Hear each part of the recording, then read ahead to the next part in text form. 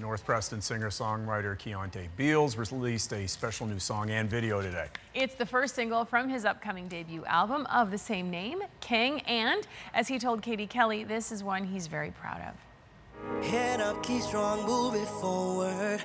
No tears to cry till it's over. Keonté, so good to see you. Good to see you too. Your new album is coming out this summer, King. What can you tell me about the album?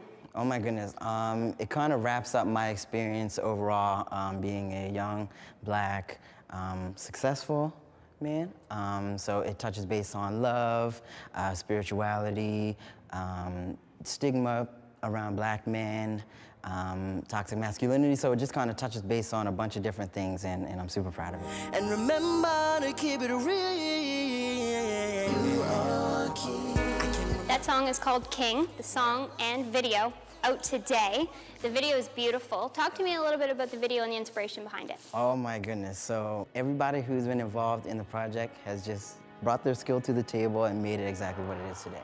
I got to show just a few bits of history here in Nova Scotia, um, just in some of the historical black communities, um, Cherry Brook, East Preston, North Preston, all places that have been super important to me growing up.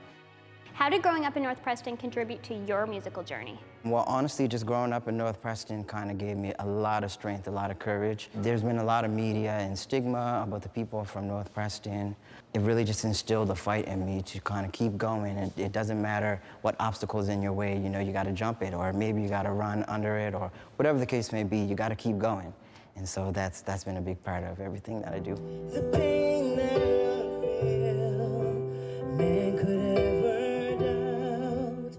You perform a couple weeks ago down at the waterfront for the Artists Unite uh, Black Lives Matter rally.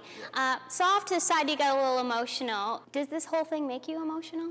For sure, definitely. Um, I've seen, you know, the struggles of my people for so long. Even the fact that we can still sing a song like "A Change Is Gonna Come" today, and it was written so many years ago, is insane. You know, like things, a change should have been here already but it hasn't, and we're still fighting for that. And, and I'm optimistic that we will get there, and I may not live to see it, um, but my job is to create different platforms for the, the youth coming after me.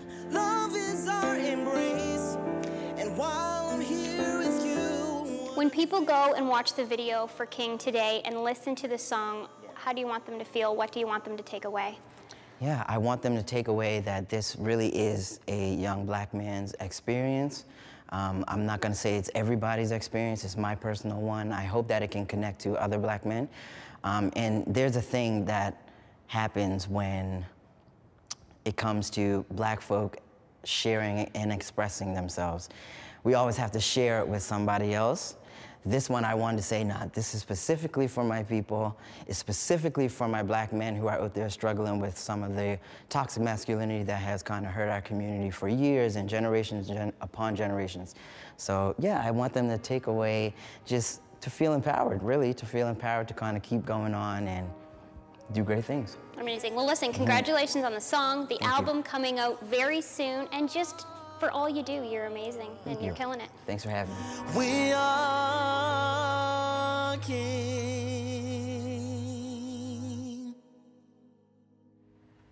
Congratulations, Keonté, and best of luck.